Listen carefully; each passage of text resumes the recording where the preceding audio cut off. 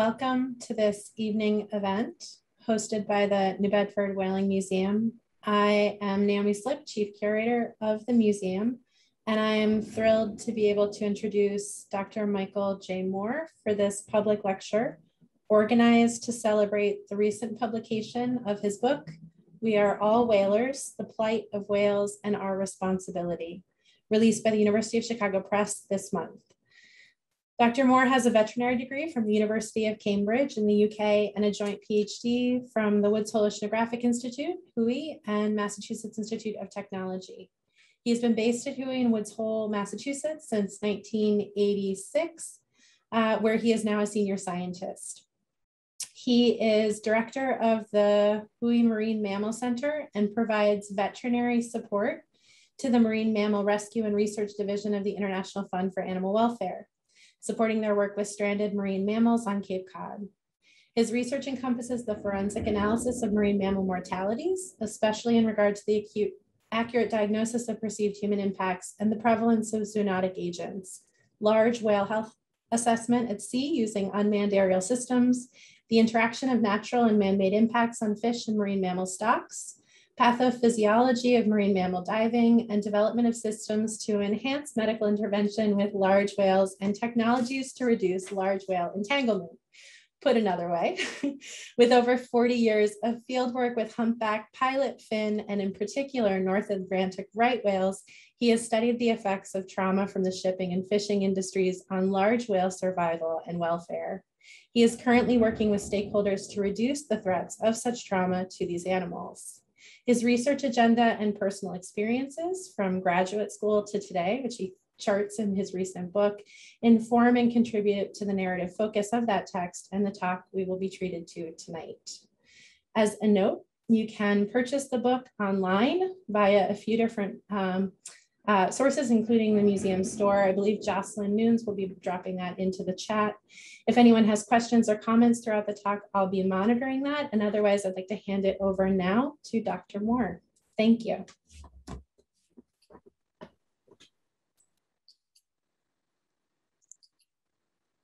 There we are. Can you see my screen? You can, excellent. Well, good evening and welcome, and thank you for spending time with us tonight. I really appreciate it, and welcome in virtual to the New Bedford Whaling Museum, a place that I very dear to my heart, and I've been a trustee on and off here for 20 years, and off right now, but here we are. So, I wrote a book. Why are we all whalers? Why are we responsible for their plight? I hope to answer that in the next half an hour or so, and then we'll get to, to your questions, which are the most important part of the, the show, really. Uh, my background is, as you heard, I, I, trained as a veterinarian as a scientist, and I've been at WHOI for quite a while. And I, since a college student, I've been fascinated by whales that are air-breathing mammals living in the water. Sperm whales can dive for an hour or more on a single breath. Right whales don't dive that long, but they too have extraordinary adaptations for eating swarms of animals that are half the size of a grain of rice. So in this photograph on the right, you can see the arcade of the baleen, these horny plates that hang down. You can't see up through the front, but there's a big old cavern. And as they push through the water column with their strong tails and the, the muscular bodies and steer with these flippers, they force the body through these clouds of copepods. And in doing that, they concentrate them at the back. There's a funnel and a filter. And the water comes out of the filter, and the funnel gets a, a slurry of these copepods that go down into the body. And that's what they feed on. It's very oily. And it's, it's really important for these guys to be able to do that.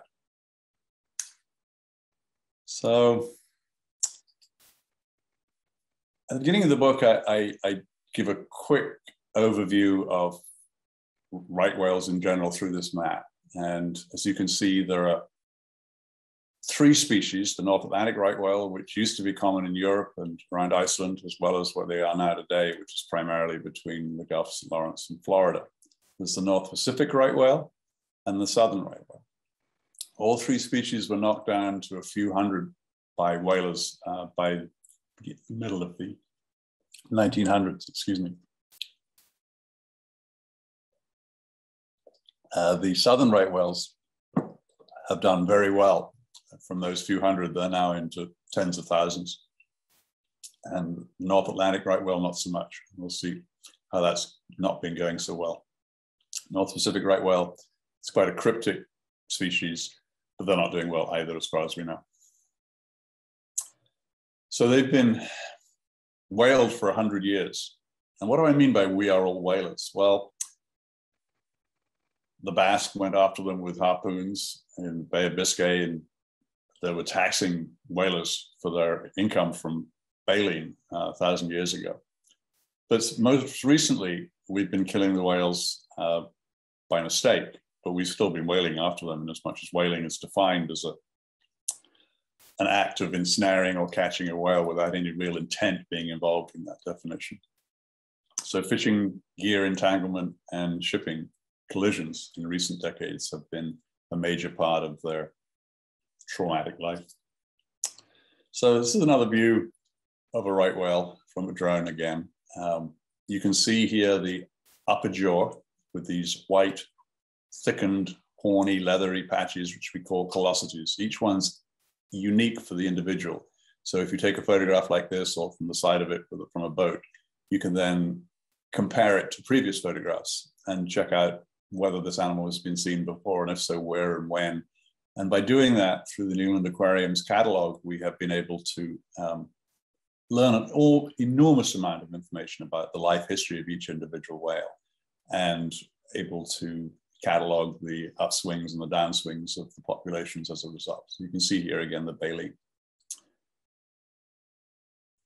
So while this video of a skim feeding right whale plays, uh, in fact, two right whales, um, I will um, read you the first piece I want to read you about, which is read to you, is from the beginning of the preface in the book. Recently, I spent an early April day in the southwestern corner of Cape Cod Bay in eastern Massachusetts in the United States with a friend. He had been at sea his entire life, but had never knowingly come close to a right whale. His day job was master of an oil tanker on the Valdez, Alaska to San Francisco, California run, where he might have been close to a North Atlantic right whale.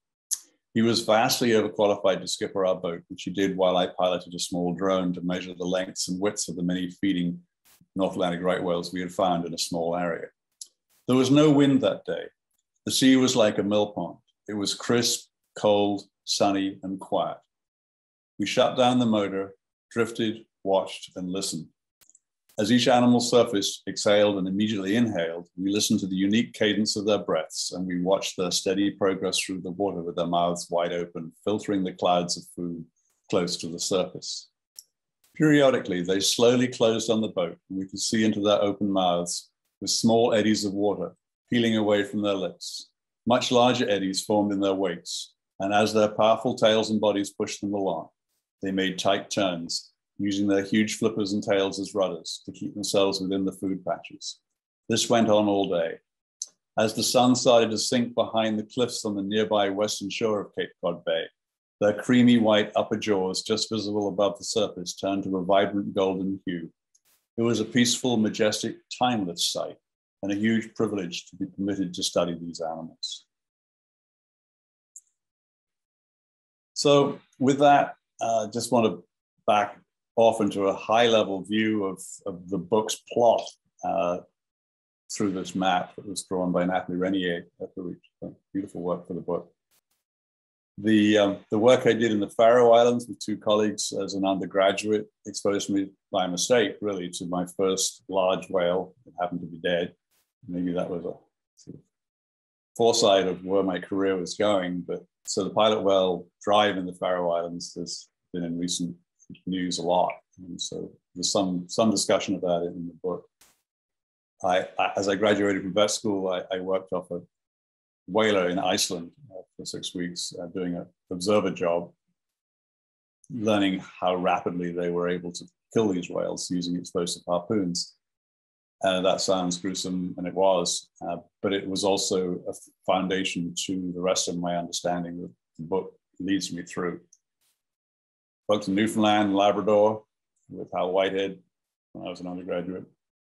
And then also in the Caribbean and Silver Bank with humpbacks again.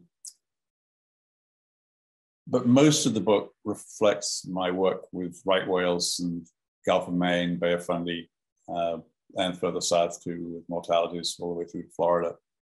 But especially important to me in the book is, is the time that I spent in Utqiagvik, it used to be called Barrow in Alaska, with Iñupiat whalers, learning from them how to take whales apart efficiently without a lot of machinery, with knives and ropes and hooks and so on. And in the book, and I'm not going to talk about it tonight, but I, I do um, investigate and explore the relationship that these native folks have and have had for millennia with these animals and how the habitat has survived. And as a result, the whales and the whalers have survived in mutual coexistence, uh, which I think is a model for some of the problems we've got on the other side of the country here.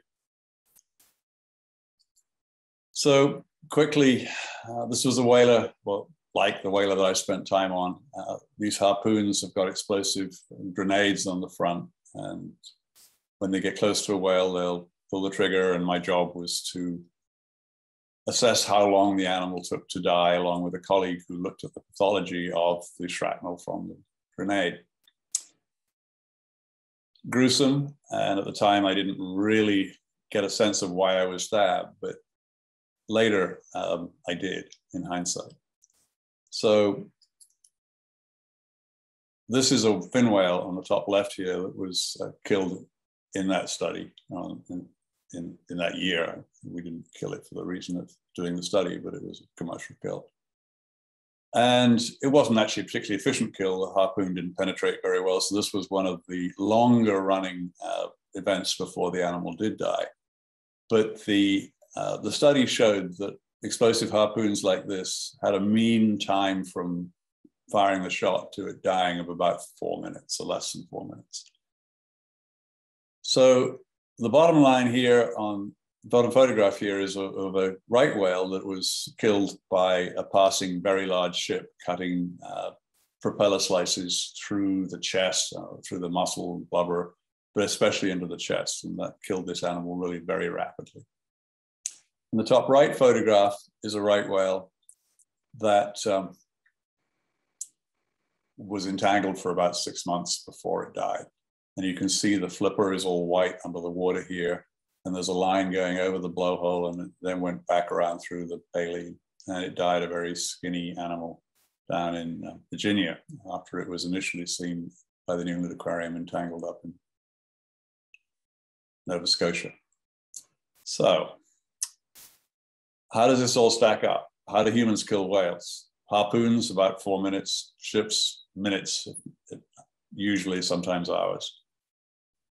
Rope, on average, around six months. So when I started to think through that and write about it, it came clear to me that it wasn't as clear cut as some folks might think in terms of here we are in our nice um, advanced society looking with a certain amount of disdain upon the nations that still kill whales with harpoons.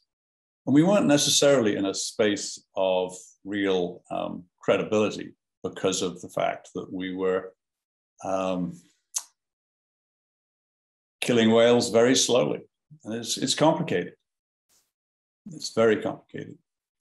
So, how do we trap whales um, with rope, for instance? Uh, this is a schematic of Natalie's that shows uh, how the traditional way of, of harvesting lobster is to set one or more cages along the bottom. If there's multiple cages, it's called a trawl, and they're all attached to a ground line, which used to float. But one of the first things the government did was to remove the floating ground line and replace it with sinking ground line to remove that sort of whale trap that was there. But still, the end line remains as a whale trap.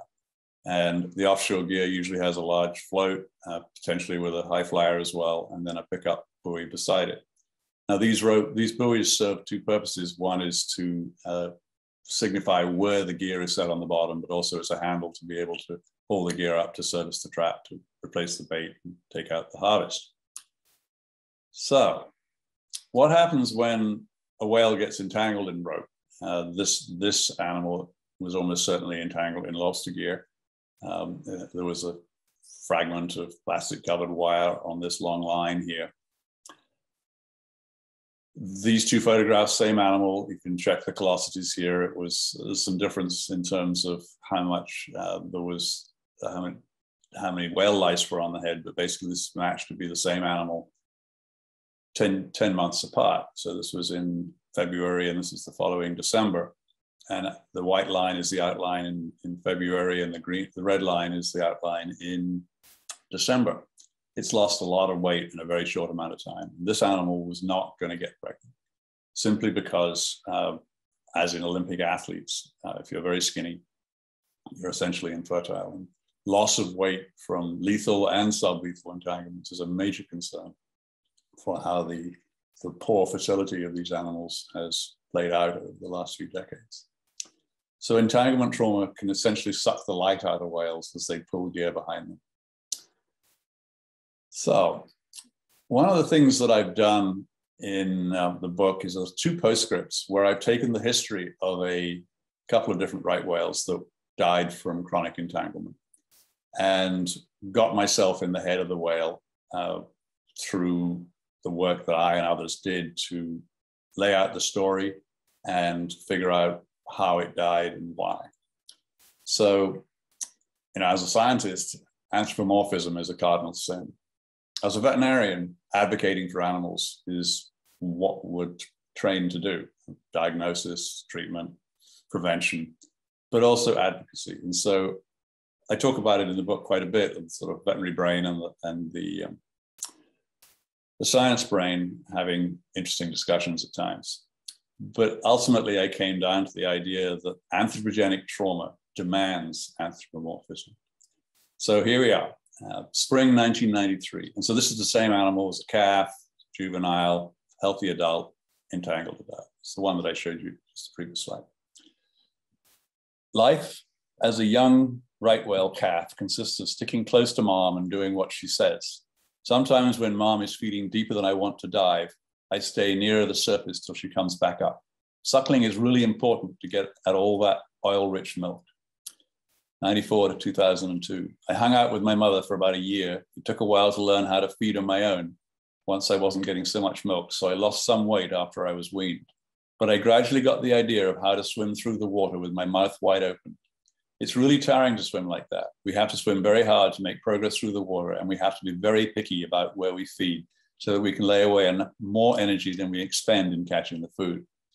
Learning to find the best places to eat was tough, but I found that I have an innate sense of where to go. How to find places that we know have been bountiful in years past. I grew in length and width and hung out with other right whales in large groups. One day, I realized that I was pregnant, so it was time to head south to warmer waters. My first calf was born and it did well.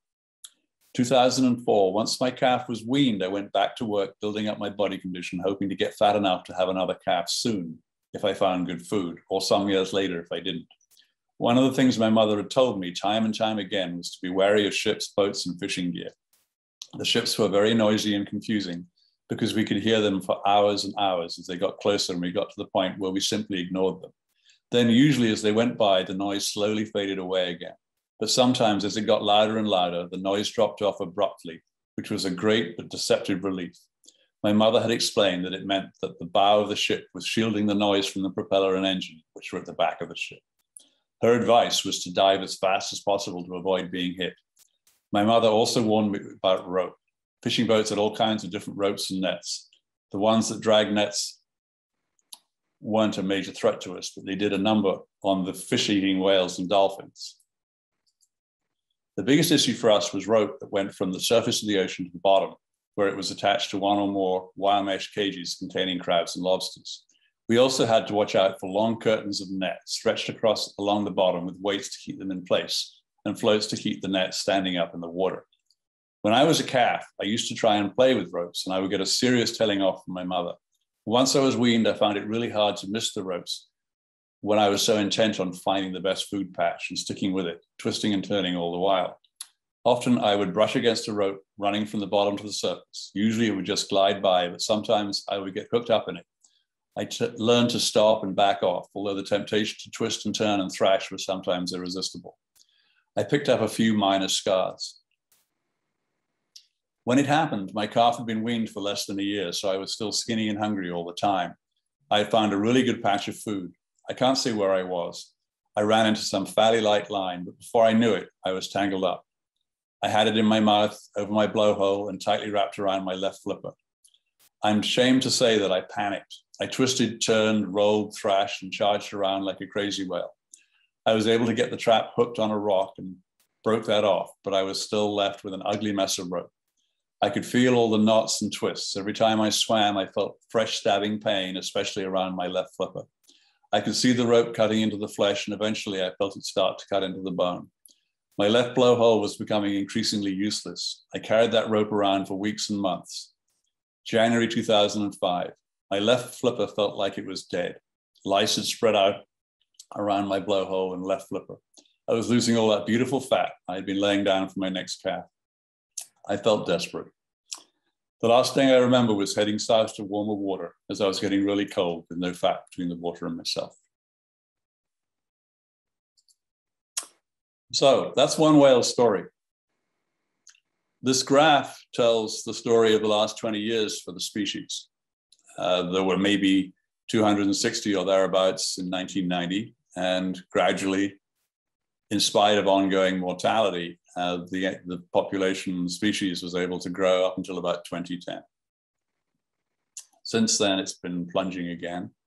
And our job is to figure out how to help the management of this uh, species through uh, changing the way we look at the problems that they're facing and the priorities of biodiversity and, and maintaining the fisheries, maintaining the shipping, and how this can all work together.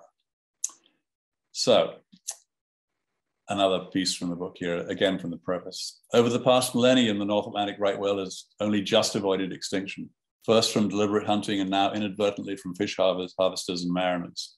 We've reached a tipping point. The right whale species cannot continue to withstand the mortality and morbidity it suffers from fishing gear entanglement and vessel collision. We must cons also consider what each individual is going through as it struggles with persistent rope entanglement. To solve the problem, we need to have the understanding, commitment, and optimism to carry through with what has to be done by fundamentally changing fishing and shipping practices. But we also need to make these changes in ways that are sensitive to the lives of the humans that work in vessels at sea and harvest seafood. Both industries have already borne substantial costs in the name of right whale conservation with inadequate results. Right whales are a special example of mammals that have evolved to thrive in an unforgiving environment and are specialized in diverse and remarkable ways to exploit specific aquatic resources and environment.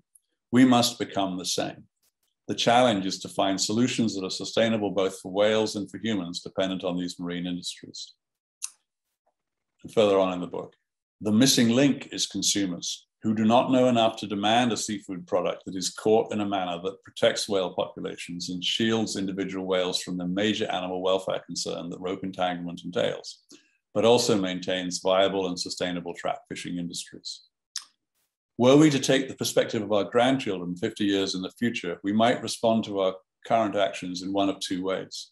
Firstly, how could they have all been so short sighted as to demand affordable lobster and crab rolls and cheap shipping of goods from overseas, despite the fact that they knew that the North Atlantic right whale species was headed for extinction? All that we have now are the bones of a few skeletons hanging in museums up and down the east coast of North America. There's a mother calf pair hanging in the Whaling Museum in New Bedford, just, just saying. Finally, or, or alternatively, Finally, they all saw that there was a way for whales, fisheries, and ships to coexist. It just took some legislative, regulatory, and political honesty and fortitude, enforcement of existing regulations, government investment, compromise, industrial ingenuity, and consumer education. As a scientist, I know that it is beyond urgent that we introduce much more widespread measures to mitigate large whale trauma caused by vessels and fishing gear. As a veterinarian, I see the long, often drawn out trauma to individual right whales caused by ropes from fishing gear as utterly unacceptable. Do we all have the individual and political will to make it right? government regulations regarding how many animals can die each year are not being enforced adequately. The balance of political power between the seafood industry and the conservation animal welfare lobbies is understandably heavily skewed to support the coastal communities that depend on the seafood industry for bringing cash flow to the region. Nevertheless, fishermen have been burdened and fatigued by years of whale conservation driven mandatory gear modifications, while the problem of whale trauma has continued to get worse. If the government fails to make its regulations work for either the fishing industry or the whales, what can we as individuals do? So, what you can do is support the, the variety of ways in which we know what, what has to be done for these guys. And I'll talk a little bit now about the entanglement problem and how it can be seriously reduced. So what we've got here is a sketch of on the left of the status quo and on the right is removal of the end line out of the water column and replacing it with acoustic pingers that uh, talk back and forth from the vessel and any other vessel in the area so that the location of the gear can be communicated so others will not set gear over it or drag through it, and the fisherman who owns the gear can retrieve it, and the law enforcement can also inspect as required. So recently, another section from the book, recently my colleague Mark Baumgartner and I helped set up a series of workshops to promote on-demand trap retrieval. The challenges for such a technology include making it compatible with a profitable fishery, efficient as well as safe, and able to fulfill the tasks of trap retrieval and location required by all interested stakeholders. One type of system releases a coiled, bag or spooled rope from the trap that floats to the surface, allowing the trap to be retrieved in the traditional manner with a hydraulic hauler. Another type of system, which raises the traps by inflation of a lift bag, uniquely avoids the need for any retrieval rope at all. However, the industry is heavily, though not entirely, entrenched in current practices, citing unbearable costs, inefficiency, and fishermen's safety as concerns about on demand technology.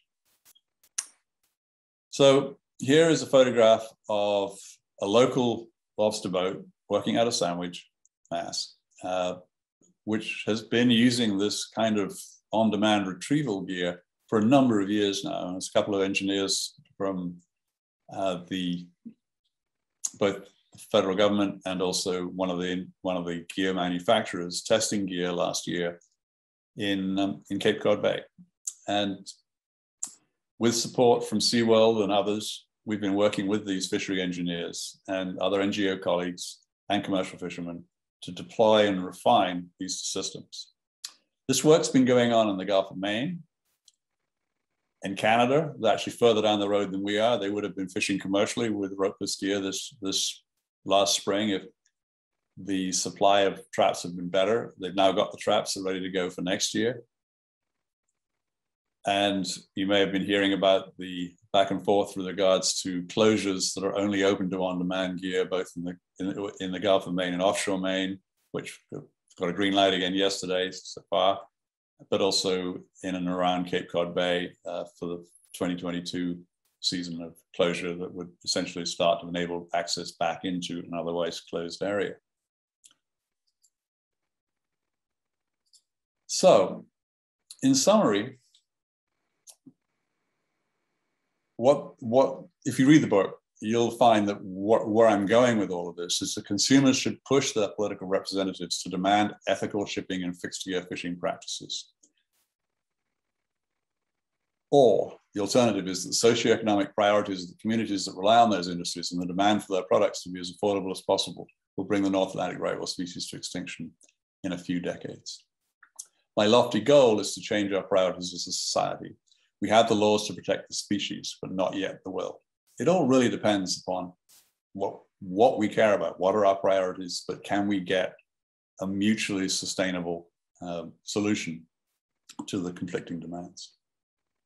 So with that, I'd like to say thank you to more people that I can list here for sure, but my home institution, the Organo Foundation paid me to write the book, hundreds of my friends and colleagues that I've worked with for 40 years on and off, but also the Chicago University Press with Joe Calamia, my editor, Norma, my copy editor, and Nick Lilly, the publicist, and tonight's host, the New Bedford Whaling Museum. So thank you very much. And I'm happy to take your questions. Thank you for that wonderful talk. That was such a pleasure. Um, I'll just note for attendees, please uh, direct your questions into the chat and I'll read them aloud so that uh, we can have Michael respond. Um, so I'll just wait a minute in case anyone has. Here we go. Okay, so we have a question from Stephanie Stack. Can you speak more to ropeless gear? The technology seems to exist, so why isn't it being used widely? Okay, well, if you're a commercial lobster fisherman, it's illegal to use ropeless gear right now unless you have an experimental permit from, from the agency that oversees the area, simply because, you know, fishing without a buoy has in the past been a criminal offense. So, you know, there are all kinds of legal and practical um, economic barriers to ropeless fishing, but that has been slowly eroding away as we've been able to put gear in the hands of fishermen. So the practical side of it, uh, the, the system that we've used the most is, is made in um, Wareham EdgeTech. And they went with fishermen, okay, how's this going to work for you? And that's how most of the different manufacturers have been doing the same thing, which is hand in hand, iteratively going back and forth between fisherman, boat, manufacturer, engineer, government, and back and forth. And over the last couple of years, it's been really fascinating to watch, you know, the plasticity of the systems as they've been evolving to work better. Uh, so there's the, the functionality is still definitely in, in process, but you know, the systems have done well in deep water, shallow water, bad weather, good weather, some, some benefits to it, such as there's a lot of drag from the end line. And so in, in heavy weather, the swells move the gear and tumble it around, but the gear doesn't move around nearly so much if, if there isn't any rope up into the water column, for instance. There's some management of where you're fishing, so folks are less able to follow the guys that are making all the money. So in some ways, the crypsis is, is, is a valuable thing as well. The economics, it, it's evolving. Uh, we have a consortium every year where we talk about this. And this year, um, one manufacturer from California who has a timed release system is planning on evolving that into an acoustic release. And his cost is significantly less, and he reckons he can keep it there, than some of the current gear. So, you know, it's, it's premature to really sort of throw it out because it's too expensive. And it, it is certainly going to be a major problem, but I do believe that the way forward there. And, and legally, you know, experimental fishery permits are being applied for and in hand in some situations. So it's, it's all a matter of detail, but fundamentally, I do believe that it's, it's very workable. There are a couple follow-up questions specifically about this um, from Bonnie Gretz. Is there concern about noise from the pingers on the ropeless gears since that has an impact on cetaceans? Right these pingers only ping when talking talked to, and so once once you've done some ranging on it, it's it's then quiet. Battery life, you know, dictates that you should be very conservative in the noise, and you know, echo sounders are pinging all the time. It's a it's not a quiet environment in the first place. But I'm not the acoustician to answer that question. But it is a question that's been asked a lot and thought about a lot, and it's it's a concern, but I, I don't think it's a, it's a game stopper, and it just needs to be managed. This is another question about the ropeless gear um, and the cost associated. So um, Gerald Beetham is asking, it seems clear that governments, federal and state should subsidize the cost to fishermen, much like they subsidize fossil fuels. Can we, what can we do to get the governments to recognize this need? Great question, and I agree entirely. Um, the the challenge is to give you a, a really solid answer as to how to deal with that. But ultimately, the lobby of the ethical consumer has to become a real force, an economic force, in terms of you know supporting the groups that are trying to make this work. There are a number of NGOs, uh, Whale Dolphin Conservation, IFAW, and Maine is supporting the right whale and all kinds of different ways that you could give your charitable dollar, but ultimately it's your consumer dollar that really matters.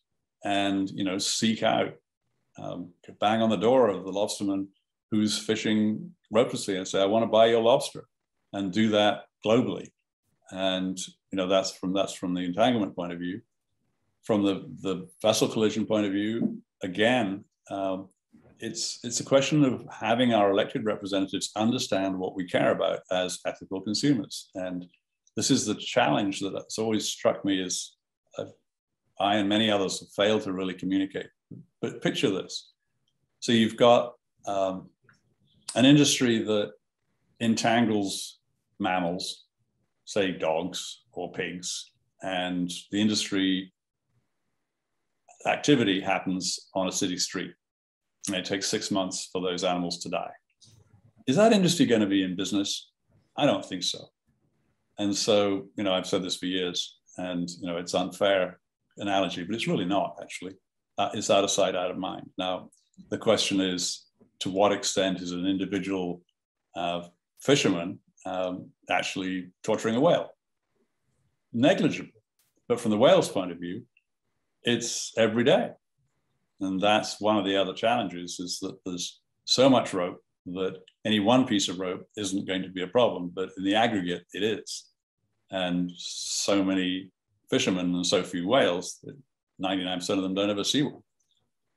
So it's there's a, there's a huge mis, mismatch of perspective and and um, challenge, but it it is what it is. We've got some some questions that spring off of that. Uh, Anne Kirschman is asking, um, how do consumers identify lobsters that are harvested with ropeless gear versus those that are not? It's not there yet, um, but the consumer can ask for it and demand it. Mm-hmm. And you know, the the dolphin safe tuna thing is is a reasonable paradigm to follow. Mm-hmm. And you know, there's going to be a point where there is enough of a product stream that that can happen. Uh, but obviously, certification of that and most of these uh, sustainable certifications are they're industry funded by default, and that's that's the problem. Uh, another side to this, um, Alexandra Friedman is asking would it be effective to invest in disentanglement teams to help the whales right. uh, since ropeless technology is still in development? Well, they, they, the whole concept of disentanglement has been around for 40 years. It started in Newfoundland in 1970s with humpback whales getting caught in cod traps and was, was then developed for um, mobile entanglements, humpbacks and right whales, Center for Coastal Studies in Provincetown. And it's a very valuable individual um, stopgap, but it's not prevention. And for every animal that gets disentangled, there's probably 10 entangled animals that aren't. Um, and it's it's not a solution. The folks doing the disentanglement would love to be out of that line of their work, for sure. So it's it's it's palliative, but it's not fixing the problem by any means. I'm not saying you shouldn't do it. Absolutely, they should. They're risking their lives to do so, but it's something that isn't going to fix the problem. Uh, Cynthia Smith takes us in a different direction um, and notes first, congratulations on the book. And can you expand on the statement anthropogenic trauma demands anthropomorphism? I think uh, uh I too wrote that down. It's, it's such a great frame. Um, Cynthia expands, do you think we need to adjust our frame of mind when it comes to how veterinarians and scientists communicate with the public about the animals we are studying and trying to protect? Hi, Cynthia. Um, yes, I do. Um, it's, I haven't really thought this through because I'm still sort of in the throes of baring my chest, as it were, as an anthropomorphic veterinarian and it's it's challenging. But I do believe that scientists as well, and you know, I am I call myself a veterinary scientist, uh, do have a very deep responsibility to share what they know, and you know, okay, maybe I went overboard a little bit with those postscripts, but I don't think I did really. I mean, they're based on the historical facts of each case um, with an interpretation of what it means to be a functional right whale. And you know, the first time I read that passage in um, a group of colleagues, there was there were no questions because everybody was crying. And I think that's um, that answers Cynthia's question actually.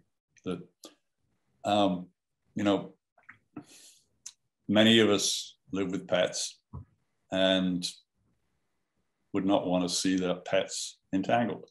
Uh, they wouldn't facilitate that entanglement with their pocketbook. I, I do think that we need to have a more sensitive and emotional uh, consideration of some of these these issues for sure. I think one of the big things that I took away from reading your book was the need for empathy and how to cultivate empathy without, as you described, that first person experience. And so you really right. provided in a way that forces um, forces that kind of exchange. Well, I was asked earlier today why I talked about myself in the book, and I wanted to tell a personal story because I had the fortune or ill fortune of being exposed to dead whales in a number of different scenarios over my career. And,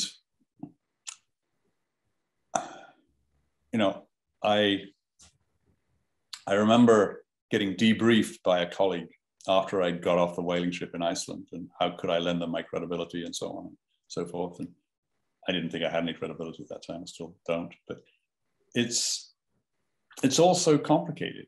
And, you know, am I right in drawing comparisons between explosive harpoons and entangling lines? I don't think it's the wrong thing to do, but it certainly, um, when I first started having those kind of conversations, I was warned off of that. You know, you're not going to help the anti-whaling thing. Well, I think actually I might be, because you know, it's all part and parcel of a much broader question than simply some arcane um, fisheries in selected countries.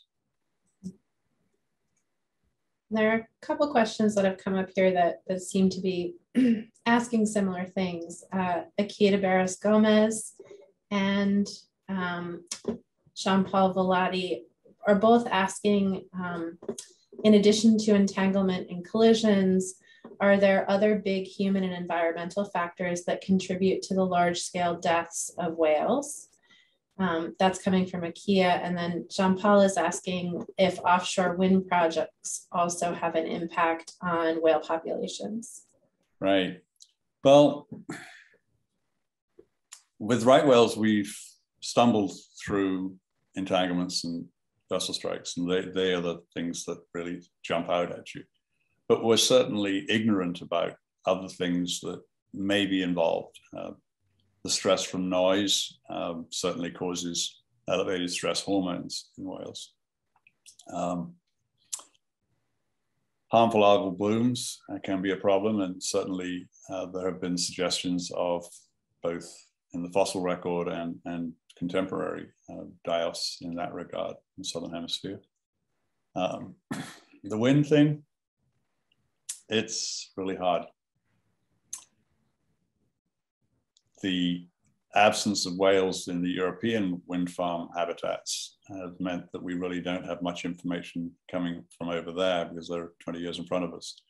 So what we what we will learn over the next 20 30 years as the wind farms start to become real on the US East Coast is I don't know but it's not an easy question to design experiments for studies observations is the whale not there because the food wasn't there in the first place or did the did the wind farm make the food go away or was the noise the vibration irritating to the whale it's it's a very multifactorial, difficult question to address and to, to consider.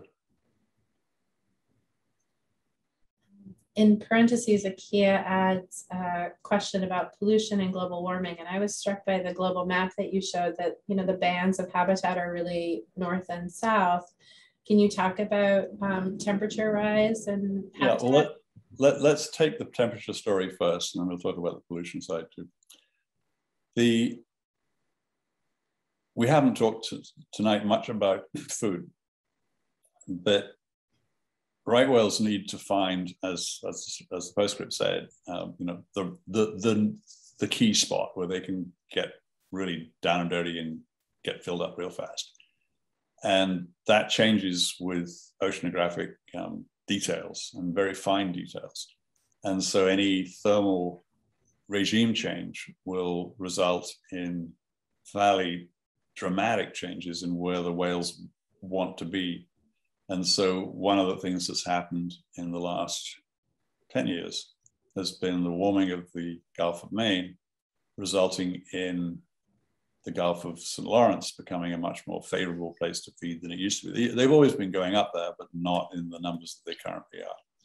So, that um, directly interacts with the vessel and entanglement problems because where there have been, uh, albeit insufficient, conservation measures taken in US waters where the whales were and in the Bay of Fundy, then you know the the level and the detail of the conflicts that are now going on with serious results in terms of mortalities in 2017, 2019 in the Gulf of St. Lawrence are um, new ground that have to be studied and recorded and debated and and heard about and acted on. And so the it, there's very significant interaction and complications between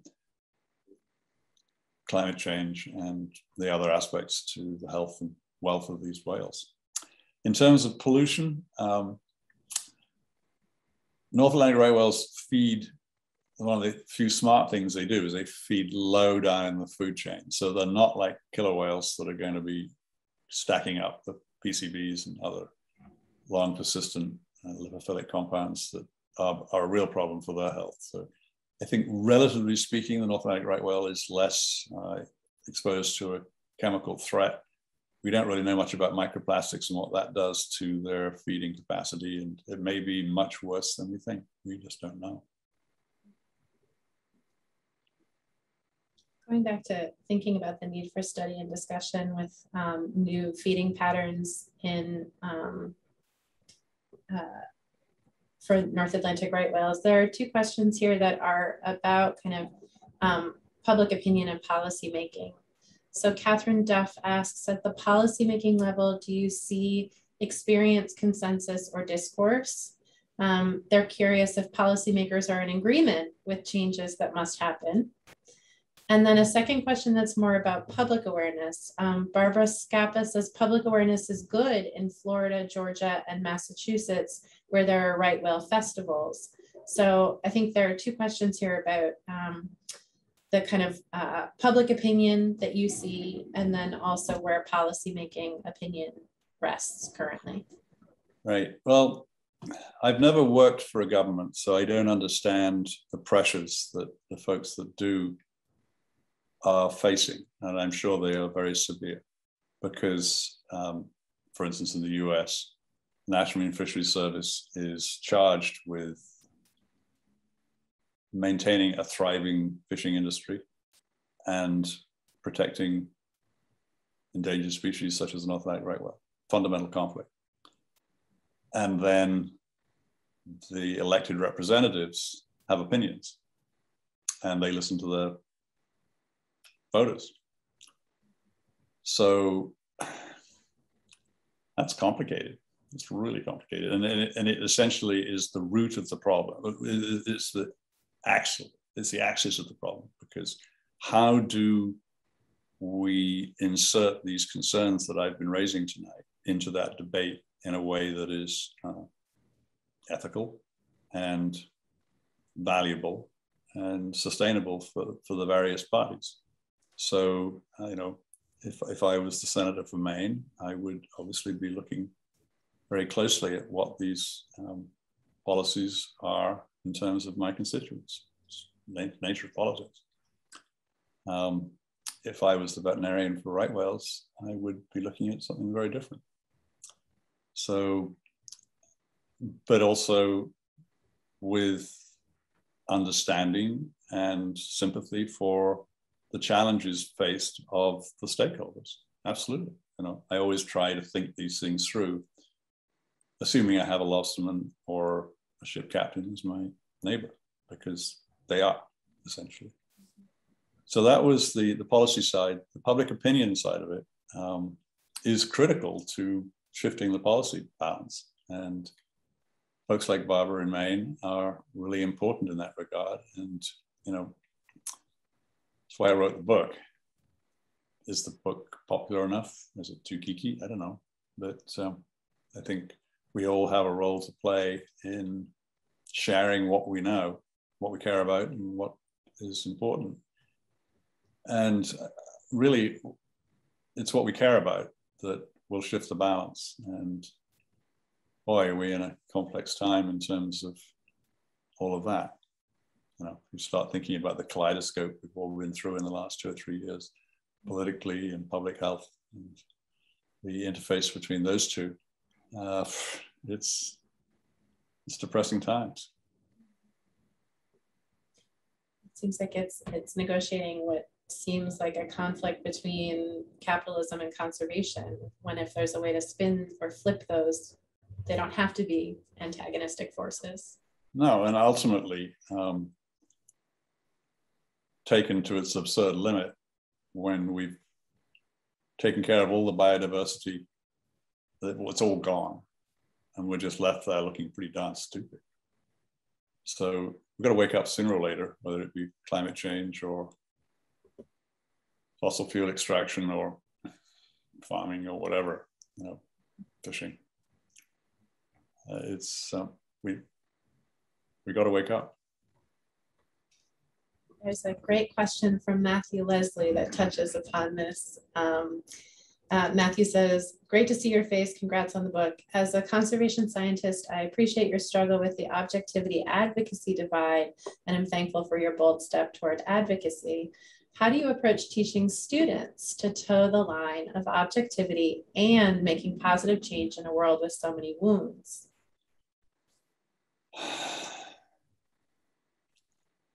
Well, happily, well, I, am at a career stage that, that that isn't necessarily a personal challenge, and so, and I and I've been in a research institution without a lot of students to teach, other than graduate students and the graduate students I've worked with, I think um,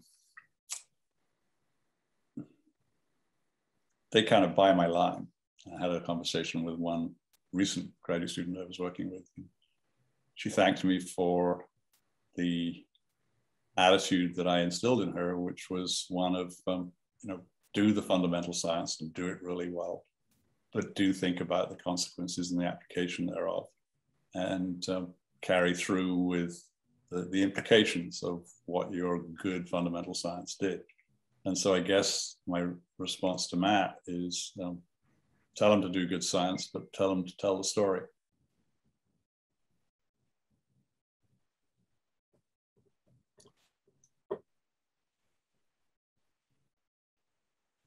We have a number of uh, notes of praise in the chat that I'll leave you to read later.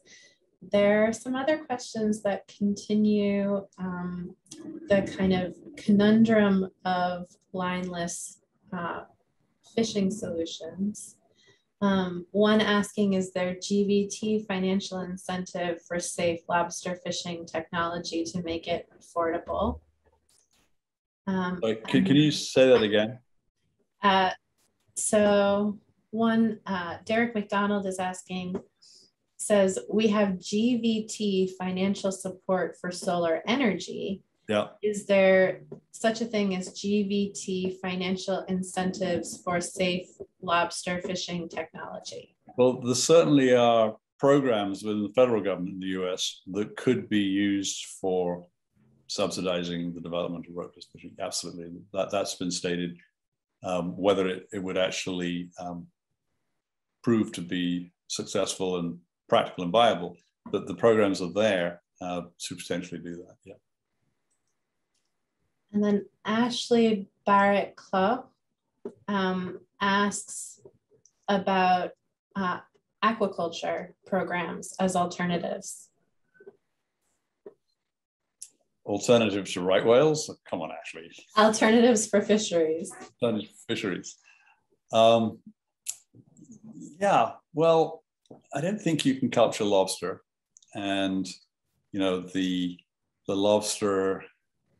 I mean, it's it's a complicated mix. I mean, lobster's a luxury food at this point, but the act of being a lobsterman is not a luxury. You know, these guys work really hard and it's dangerous and so on. So, and aquaculture has all of its own string of problems. If you go down the coast of Chiloé Island in the Gulf of Corcovado in Chile and look at the wasteland that follows aquaculture in terms of eutrophication, uh, aquatic animal disease. Mm-hmm. I think we're going there, whether we like it or not, simply because um, the wild fisheries have been largely overexploited. And so we'll be there anyway, um, with its own suite of entanglement problems, too, I'm sure.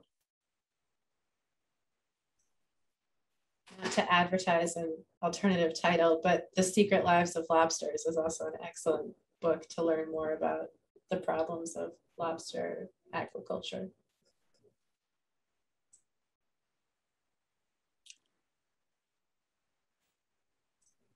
We have another question that's come in here. Uh, well, a comment more, uh, again from Bonnie.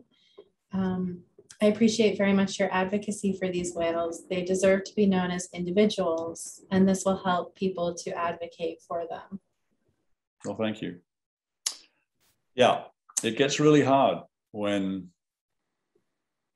you may have known the animal as an individual in the field, but even if you haven't, um, you walk down the beach and there's a dead whale and you may have been involved with it to help disentangle it. We sedated a few animals. Um, I pulled the trigger on one one sedation dart that didn't do well, and you know the the responsibility of trying to help this animal but actually hindering it is really tough. Um, but yeah, telling the individual whale story. I mean, it was once said by a colleague, Phil Clapham, that the way to save an animal is to give it a name. And, you know, Keiko was that killer whale that was Free Willy that landed up um, having a sad, sad ending in the end. But um, there was an enormous amount of money spent on that one whale um, because had a name. And most of these right whales, some of them have names, many of them just numbers, but they're still individuals. And after, well, actually, really, the first right whale that I was involved in was an animal in Cape Cod Bay. Um, I the name now, but anyway, as I filled up the dumpster with the skeleton to send off to the museum in Western Massachusetts to um, clean it and display it, it was the first time I'd realized that I was I was actually disposing of an animal that was potentially one of the last of the species. And that was very heavy. And it doesn't get any better. Um, staccato was the whale I was thinking of. And really that was the first first right whale that I, I, I got intimately involved with. And especially the staccato was hit by a ship, but the animals that are hit with rope and you know you land up writing a report getting your head inside the animal. Okay fine. So it got entangled here and did that and it cut down into the bone and the bone started to fluoresce with new new florid bone proliferative lesions so that it would try and slow down the pain and, and make it more stabilized and so on. As, as you you write a take you know two or three thousand photographs and you write a hundred page report just really documenting all the changes that, that happened to this animal. By the time you've done that, two things have happened.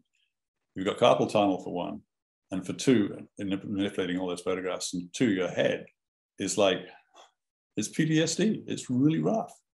And I'm not the only one to say that. Lots of my colleagues who, you know, go through this and they personally have very serious, you know, issues with all of the way they've had to think their way through to write an honest and solid report for the management that needs to know that, yeah, this is what killed this animal.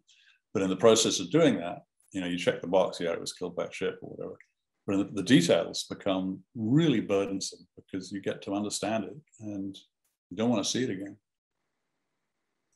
Well, and in that documentation of trauma, it's like you're writing a biography of each of those animals. It right. seems like those are the kind of um, postscript pieces of the book at the same time that in some ways the book is also a, a kind of biography of you in the background, charting yeah. their their their histories. Yeah. Well, you know, I struggled and you know to, to to strike that balance and you know nobody wanted to publish a bio, you know autobiography or, or memoir or whatever and I'm, i remember I, I was trying to get a editor from the harvard university press we don't do memoirs okay. well i'm not sure i'm writing a memoir but maybe i am maybe you're right but anyway chicago was a little bit more forgiving i think so but it becomes a biography of the whales as well, which I think is a beautiful. Well, yeah, it, it, uh, and I think now I've seen that some of the responses to those postscripts, I might have been more aggressive with the editorial process in terms of how much um, anthropomorphism was acceptable. And I, I'm, you know, maybe, maybe the kids will really get into that. So that may be book number two. Uh, Richard Zach Cliver says, um, I greatly look forward to reading your book, which just arrived. Can you tell us where your book tour will go from here? Where my book? Where your book tour will go from here? My bookstore. Tour. Where will you be speaking next? Oh, oh, oh, oh sorry, it's tour. Um, I got a talk scheduled at WHOI on the 30th of November and I've got one going with Mystic Seaport um, maybe a week after that, I think. I'm looking to spread out the West Coast and I'm willing to talk anywhere because I like to talk. Well, Richard is suggesting um, the American Museum of Natural History or the Smithsonian. So if there are connections there, sounds yep. like that's a. It's funny. Um, I'm supposed to be doing my job. This book hasn't gone away. Um, you know, how to be efficient in terms of dealing with um, promoting a book in our virtual world. I'm immunosuppressed, so I'm not going to go to bookstores and do it. So I'm doing what I'm doing now and um, making it up as I go along, really. I would hope that this uh, book is as much part of your job and its futurity is. Yeah, but projects end. Is they're supposed to.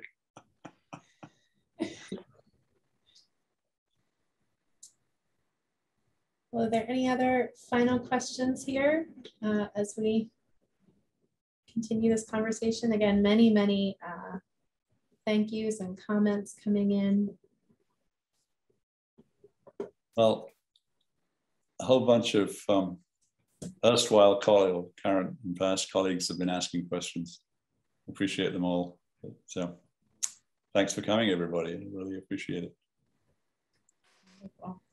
Well, it's been a pleasure to have you join us at the museum and uh, get to have this conversation. I hope everyone will pick up a copy of the book as soon as possible and uh, enjoy reading it as much as as yeah and just to say that um, supply is happily hard to find right now, but there's a second printing that's happening uh, early December. Very exciting.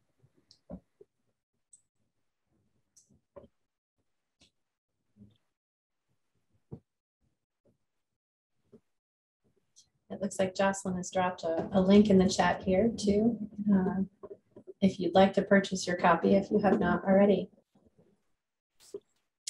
Megan Stolen notes, oh, you can keep going. I'm here. I just wanted to mention that we do have plenty of copies, Michael. I did confirm with our stores. So everybody who's tuning in, if you're interested, we have plenty of copies. And if not, then we will get some more when available. Great. Yeah, I, I have one. Uh, Megan Stolen notes, um, the book is an important step to getting more people to talk about these whales and hopes it sparks a wave of letter writing. Sounds good.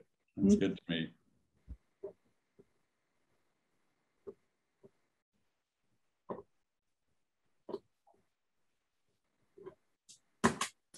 Well, one of the things, Michael, that I had mentioned to you when we first came together was the um, first calf of the season being spotted two days ago. Yeah. Do you have thoughts about that calf's arrival? Is that a whale that you um, are familiar with and know? I haven't heard that, that the mom has been identified.